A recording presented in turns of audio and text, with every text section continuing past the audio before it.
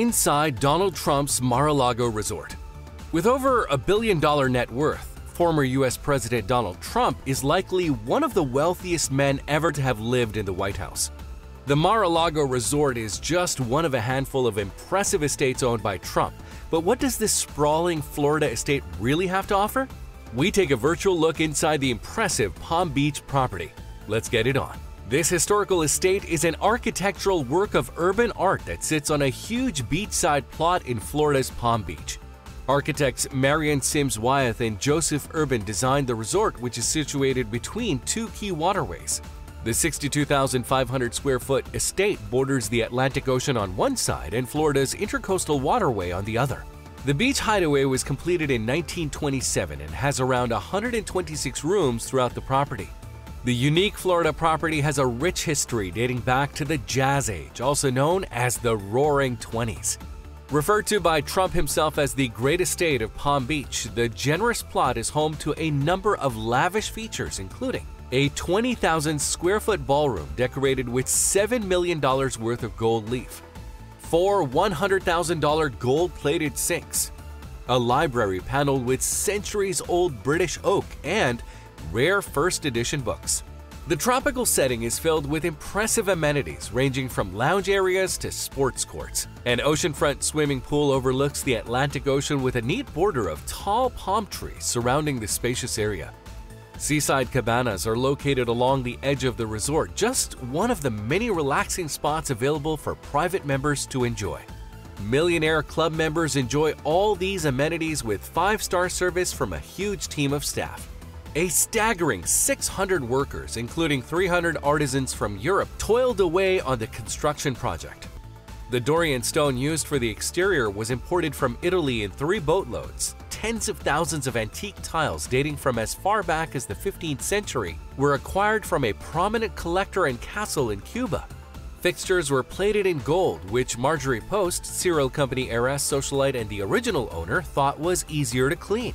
When all was said and done, the project went eight times over budget, with the final bill coming in at $7 million. A large chunk of the grand total was spent on the astonishingly opulent living room. The statement ceiling is almost an exact replica of the glorious thousand wing ceiling in Venice's Academia, and together with the walls is covered in so much gold leaf, America's entire supplies were said to have been exhausted decorating the room, which Marjorie packed with prized antiques including an Italian Renaissance table, 17th century Spanish rug, and silk tapestries from a Venetian palazzo. The dining room is equally lavish. Modeled on a sala da pranzo in Rome's 16th century Palazzo Chigi, it has a similar Italian Renaissance vibe. The enormous 4,000 pound dining table was crafted at great expense by 15 artisans at Florence's prestigious School of the Medici, who spent a year just making the remarkable piece, which was studded with colorful semi precious stones. The property is a super eclectic mishmash of styles, particularly the guest and owner's bedrooms, which number 58 in total. Marjorie and designer Joseph Urban drew on global inspiration.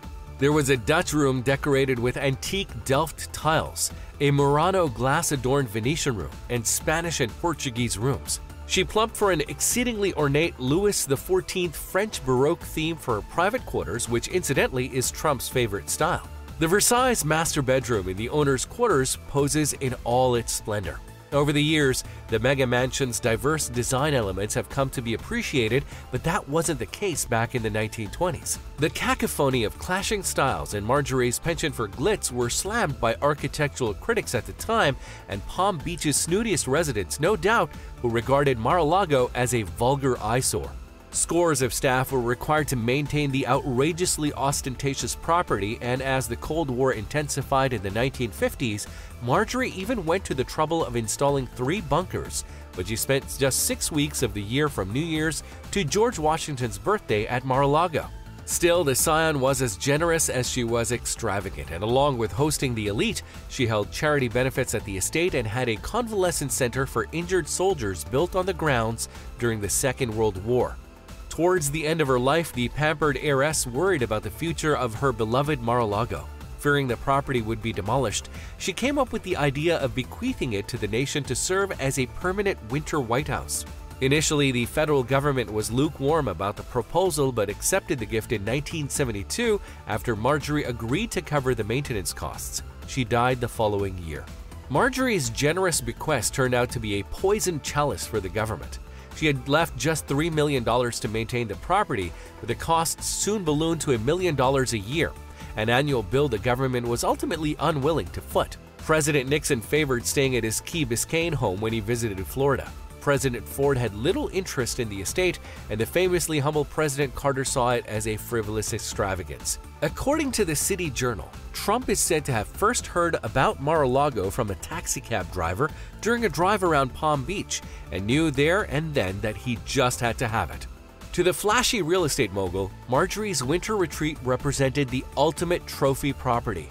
Over the years, the resort has proven a success, having earned the 5-star and 6-star Diamond Awards from the Academy of Hospitality Sciences. Beach Mansion Mar-a-Lago gets its name from the Spanish term for sea to lake. When the estate went on the market for $20 million, Donald Trump was looking to purchase a Palm Beach home and set his sights on Mar-a-Lago, offering $15 million. This offer was rejected and the controversial billionaire instead purchased the beach at the front of the property.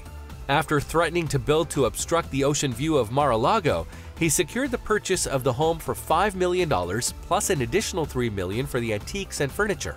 In classic Trump style, various improvements were made, including the addition of a 20,000 square foot ballroom, the decorating of which involved $7 million worth of gold leaf and the installation of gold plated sinks.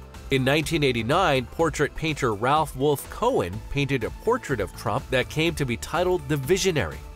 Cowan had known Marjorie when she was the owner and wanted to paint the new resident. Rather than paint Trump in one of his trademark suits, Cowan gave him a more Florida look, portraying him in tennis whites. Anthony Senecal, Trump's butler and unofficial historian, described to the New York Times how the library was paneled with centuries old British oak and filled with rare first edition books that no one in the family ever read. When in financial straits in the early 90s, Trump announced plans to divide the historic home into several mini mansions in order to make the estate lucrative. This proposition worked the Preservation Society of Palm Beach into a veritable fever, and the plans were hastily blocked. Trump now had to think of another way that the house could earn its keep, and thus the Mar-a-Lago Club was born. Opening in April 1995, the club reportedly charges a $100,000 joining fee plus $14,000 annually and a minimum of $2,000 spent on food. The joining fee allegedly doubled to $200,000 after Trump's presidential victory.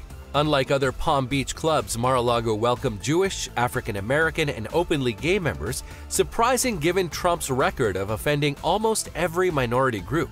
But all has not remained serene at Mar-a-Lago. In 2006, Trump sued Palm Beach Town for violating his right to free speech.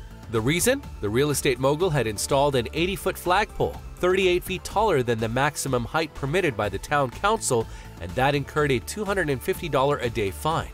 He sued for $25 million, but the lawsuit was settled on the condition that the pole be shortened to 70 feet and Trump make a $100,000 donation to veterans charities, an effective PR move to resolve the case. This was not the end of Trump's entanglement with the Palm Beach authorities. In 2015, he began a lawsuit against Palm Beach County for the deliberate and malicious action of directing flights from Palm Beach International Airport right over Mar-a-Lago. The lawsuit has since been dropped. The Trump family maintains a strong connection to Mar-a-Lago, spending Thanksgiving, Christmas, and New Year there. Eric Trump was also married there in 2014. However, when Trump was president, a new set of ethical dilemmas faced the U.S. government. Soon after he assumed office, White House Press Secretary Sean Spicer referred to Mar-a-Lago for the first time as the Winter White House. Complications occurred because the estate is a Trump run business, where the president chooses to stay, entertain important guests, and host events are usually funded by the government. So the government footing the bill for Mar-a-Lago would have been problematic as the money would go directly to Trump. When Trump hosted Japanese Prime Minister Shinzo Abe at the Palm Beach Club soon after these ethical questions were raised, he offered to foot the bill for the stay. Beyond government concerns, there were and remain more local frustrations. When Trump visited Mar-a-Lago, the area was declared a no-fly zone, effectively bringing Palm Beach International Airport to a standstill. Businesses also felt the pinch as roadblocks and extra security measures prevented them from opening, leading to dramatic drops in income. The club has welcomed a long list of celebrities over the years, including Michael Jackson and Lisa Marie Presley, who spent their honeymoon there.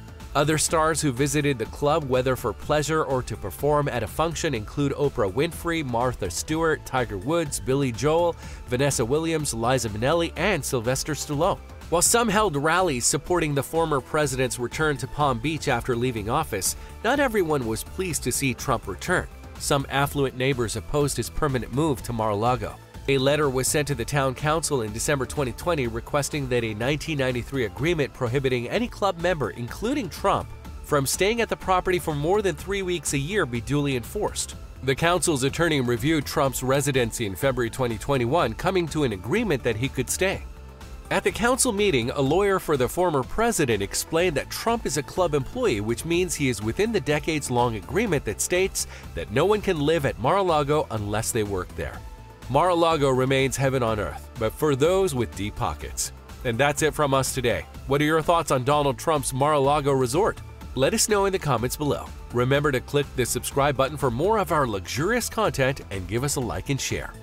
This is The Luxurious. Talk to you in the next video.